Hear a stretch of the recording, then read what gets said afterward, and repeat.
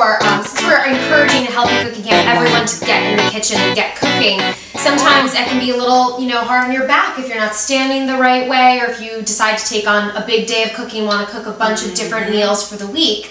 Do you have any yoga poses or stretches Oh, sure. that would help open up or just really kind of At do some in the good for you, right? home in the kitchen? Yes, and, and it's so funny too because it, cooking can stress people out as well. Yeah. And what Shoulders go up. Everyone shoulders gets go up, and you're over and you're chopping like this, this. and your shoulders round forward. Right. And kind of the energy that you bring into what you're cooking is the energy that you bring into what you're eating, into your meal. Thank you. Right? So Yes. everything is a process and we really want to stay in the moment. It can be a very meditative process. So even if you come into the kitchen and just close your eyes for a second and like place your hands on, on the table and take a few deep breaths in through the nose.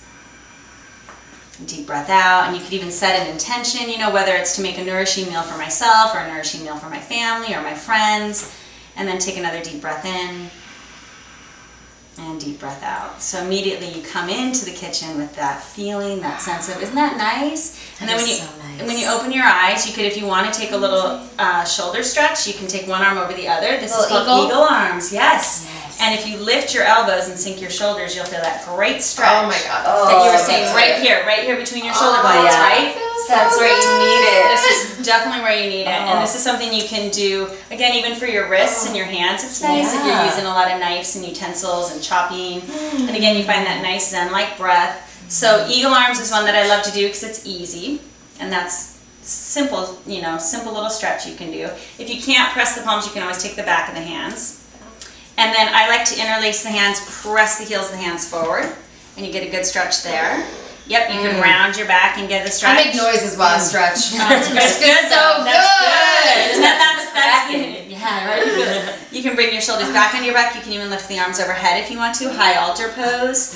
You could do a side stretch. This is all simple things you could do. Look at even when your eggs are boiling, or when you oh, know totally. you can take the arms behind you, Double. interlace the hands, and make a fist and clasp the hands and get a Oh, good stretch so there. good. I did a lot of Love push-ups this. yesterday. Doesn't that so good? Love this. You can hold your elbows behind your back. You can also make a prayer up the back. So that's a big one. That's a good wrist. That's a good shoulder stretch. Oh. You can do the table dog, the downward dining, Oh. the dining table downward dog. Let's call Dining it dog. So for your back, you said, and the upper back, you Yeah. can just get a good stretch Oh my there. God. Bye, guys. Isn't that Bye. We'll see you amazing? in a I don't know if anyone can see that, but that's a great stretch. And what you want to do is go back into that stretch and then bend your knees slightly. Now, kind of drop here a little bit more, like arch out of that area. There you go. Oh. Nice. And feel that stretch there. Oh. Excellent. You can even come up, you could get a full workout in the dining room or at the, at the kitchen table because you can even do your little chaturanga push ups on That's a whole other video we gotta do. and then and then you could do your pigeon prep. I don't know how sanitary this is, but you know everyone gets hip flexor stuff, so you could bring your leg up on the table Oh for God. pigeon, and you could do a little pigeon. Yes. Sexy. You could be that prep. sexy you can to be cooking Oh, like that. prep Oh, vegetables damn. while you're stretching Love your it. piriformis. You know your little pigeon prep. So Amazing. there's lots of kitchen stretches. you Kristin's can doing it. Incredible.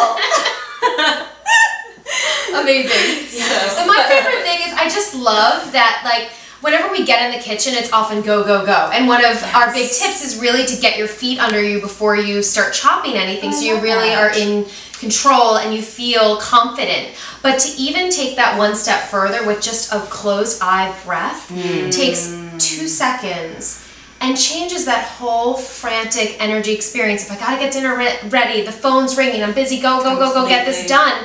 It takes no time and just changes everything. you feel so much more relaxed. So true. It slows you down. It helps you feel like you're in the moment. I love what you said about just getting your feet under you and feeling mm-hmm. in control. And then you lead from center and you lead from that place of love and from passion, from yourself. And you give of mm-hmm. yourself in a way that's so much more present. And you can taste it. You can And you taste can. that I completely, I completely agree. I wanna- Red wine.